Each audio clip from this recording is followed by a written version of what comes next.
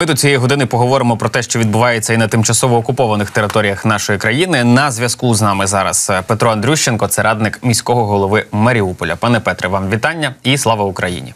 Героям слава, вітаю вас, пане Петре. Перше запитання вчора з'явилася інформація, в тому числі і від вас, з вашого телеграм-каналу, що на північний захід від Маріуполя, населений пункт Республіка, дуже смачно прилетіло. Що це було, куди влучили, і на дану мить що з нового відомо. А, Ну давайте що це було? Це була кара небесна. Що саме з кари небесна? Я думаю, це скажуть краще наші військові. Не будемо да е, строїти такі домисли, але у підсумку. Скажімо так, щонайменше 50 е, військових росіян, які там базувались, перейшли в склад від е, окупантів в стан хороших русських, і десь там з Кобзоном вже співають. І це просто от е, джекпот, вважаю, за останній час. Чому? Тому що те, що ми спостерігаємо, там, де вони розміщуються, ну дуже рідко після Макеївки, вони десь збираються разом у великої кількості. А тут щось пішло не так. Це приміщення клубу. Вони там системно базувались, а цього разу якось дуже системно забазувались. Причому очі з місця підказали. І це було також несподіванка до окупантів. Ні, ніяк вони не можуть звикнути до того, що Маріуполь та Маріупольський район, все, що навколо, да, воно дуже недружньо ставиться до окупації, і тому наші люди підказують і підказують, де воно ховається. От цього разу не сховались. Кара небесна завітала. Там понад 15 швидких поїхало. Толку від того було мало. Насправді, тому що вже було запізно. Що там буде далі? Всіх повивозили, повивозили навіть не в Маріуполь, повезли в бік Донецька. Туди швидесенько це означає, що навіть трьохсоти там були не дуже в гарному стані. Ну і власне все увімкнуло. Зрозуміло, що одразу російська оці мамкіни пропагандісти, які там існують, і такої, власно кажучи, ми ще не бачили, тому що це навіть була атака заспокійливого не лише там всередину, да а і по всіх по всіх каналах, навіть про українських, там де є модератори, пішло пішло таке повідомлення, що нема там не було і скорих, швидких ніяких, не було нічого. Але ну наші люди всюди кажуть дещо інакше. Тому ну. Тому влучили так влучило, що називається. Про далі про влучання, пане Петре, тому що є повідомлення про прильоти в Токмак, є повідомлення про прильоти в Пологи. Скажіть, будь ласка, це все є логістика окупанта на півдні, чи це швидше скупчення якоїсь живої сили і їхні стаціонарні об'єкти, де вони базуються? Ну, це вже лінія фронту. Власне, якщо брати республіку, то республіка зрозуміла. Республіка це скупчення. Республіка там недалеко межує. Ну тобто, по цій межі від республіки до селища до міста чи селища міського типу Розівка. Власне, да, це такий основний резерв на межі кордонів Донецької і Запорізької області в напрям пологів сконцентрована. Тому там да вони тримають резерв. Те, що то пологи так Ну, це вже лінія фронту від Такмаку там до Васильівки, власне, що кажуть, рукою подать. Пологі це взагалі лінія в пологі там гуляє поле поруч. Тому це вже щось щось відбувається, да, як то кажуть. І це і логістика, це і склади, це і скупчення, і це дуже нервують окупантам насправді. Тому що ну подивимось, от зараз бачимо по місту знов аж полетіло туди колони з БК в бік Бердянську, в бік пологів. То це означає, що там ну непогано прорідила наша бавовна зранку. І е, все воно пов'язано один в одного.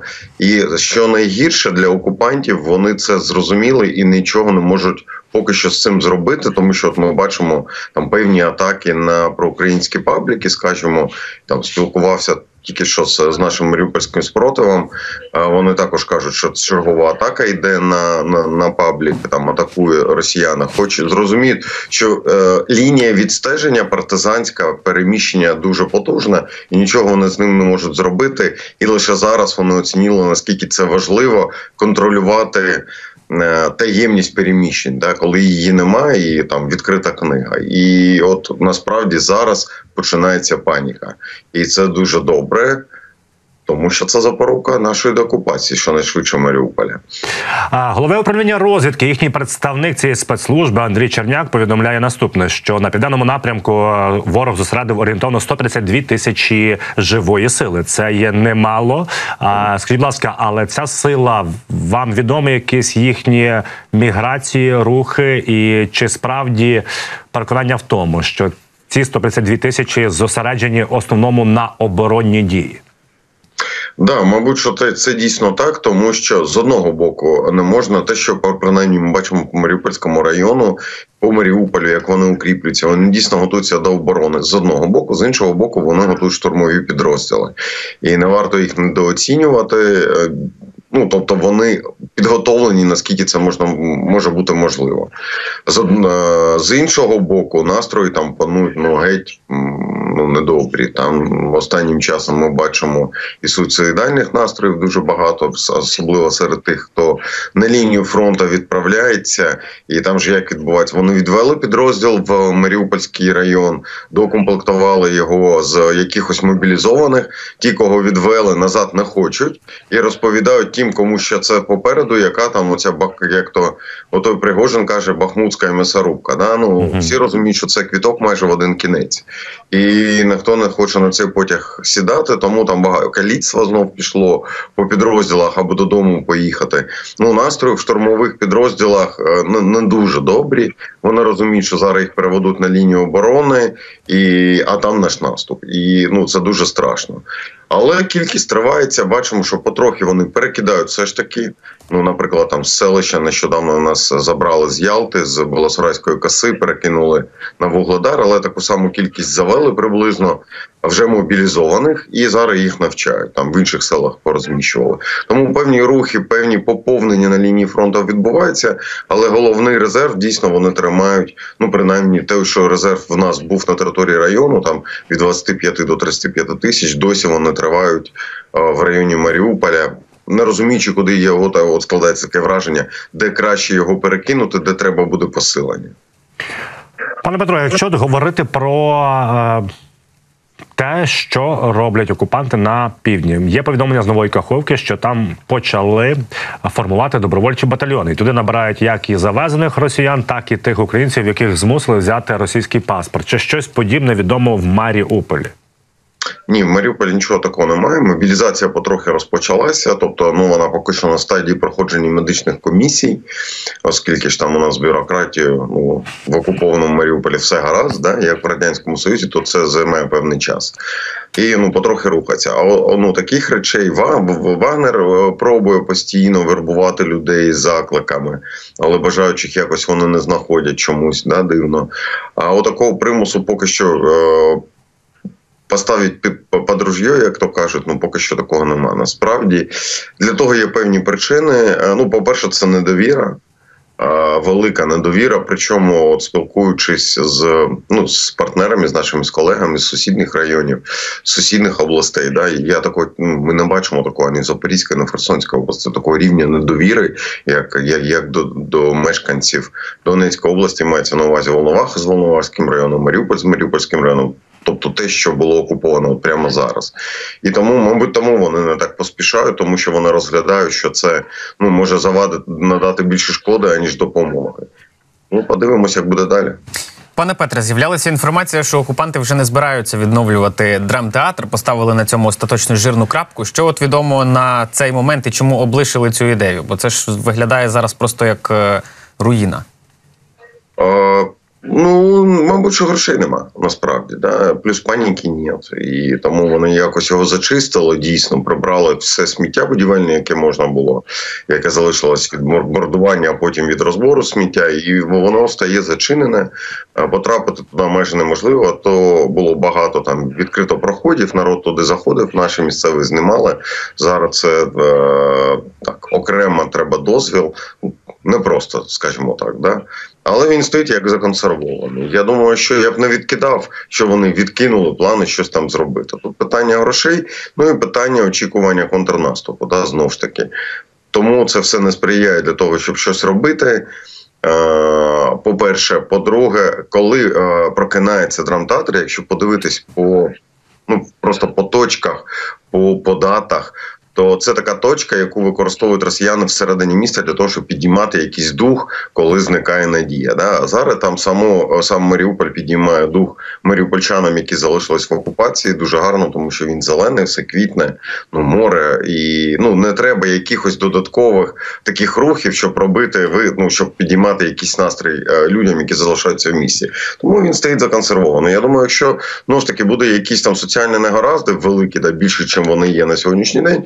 Ми знов побачимо якусь техніку. Це от завжди так відбувається. Знов якісь там е, щось починається ворушитися в драмтеатрі. Вони починають розганяти, що ой, драмтеатр, що ми от-от будемо обновляти. І це якось працює. Да? Ну, ну воно не працює насправді, але вони вважають, що воно працює. Тому то тому вони його і тримають в такому стані, і до кінця не знесеному, і, і не починаючи нічого з ним робити в, е, в частині відновлення. Ну для цивільних окупантів, ті, які зараз є в Маріуполі, воно може і працює. Вони будь-які схавають. Але тим не менш, з'явилась також інформація про те, що м, від генштабу, до речі, у генштабі написали, що в Маріуполі окупанти залучили 50 представників російського слідкому для допитів місцевих жителів. Що про це відомо? А, ну, це правда, і це не дуже новина насправді, тому що відділення слідчого комітету Росії працює в Маріуполі з початку окупації.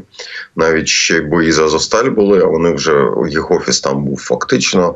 І здається, десь червня, липня, ну десь так, да, взагалі він відкритий окремим офісом, і там дійсно така кількість е, російських слідчих працює, то більше, то менше. Е, Справа в чому, що вони ж займаються формуванням е, цих псевдо, псевдодоказів, псевдозлочинів. Да? Це така контраргумент на ордер міжнародного суду Львова і Білова з Путіним. І е, да, проганяють цих маріупольців, кого тільки можна чи через ці допити. Зрозуміло, що перші для фальсифікації е, використовуються. Ну, почепинів давно вже пройшли. А зараз ті, хто працюють там, бюджетники і всі інші, да, хто хто залежний від окупаційної влади, власне, добробутом якимось, ну їм пряма дорога туди. Ну а там зрозуміло, що народ е, розповідає те, що фактично да, хочуть почути, підписує, що можна підписати. Знову ж таки, можна згадати, як влітку вони збирали разом з заявами на компенсацію щодо е, пошкодженого житла, яка толком так і не запрацювала. Збирали обов'язково власноручно написану заяву, що моє житло було знищено ЗСУ, скажімо так. Да? І це ж просто там десятки тисяч власноруч заяв в них вже є. Ну тому ця е, глобальна фальсифікація вона дійсно триває. Незрозуміло, на що їм потрібно все це. Якийсь хитрий план, мабуть, що незрозуміло який, і, ну якщо чесно. Але дійсно цим займаються от без зупину. То ми так розуміємо, що цей слідком, який зараз в принципі працює, проганяє маріупольців. Він це робить не один раз, а це така системна робота. Це постійно, так. Це це просто постійно відбувається, іноді по два рази там до одного того, що повертаються, да, і з незрозумілих причин. Постійно. Ну, окрім, окрім того ж, постійно працює поруч. Не варто забувати, що поруч працює е, в репресивна машина. Да? Це не слідчий комітет, це безпосередньо ФСБ. І там є такі речі. Ну як це працює всередині, можуть якось когось рандомно затримати, ну, наприклад, за підписку на ваш канал наприклад, легко насправді. Потім в катівню можуть навіть там не дуже швидко катувати. ну, Якщо людина каже, що та ні, ну це ж просто от звичка така, таке саме. От тоді просто людину віддають на слідчий комітет, наприклад, і починається допит про злочини українських збройних сил. Да?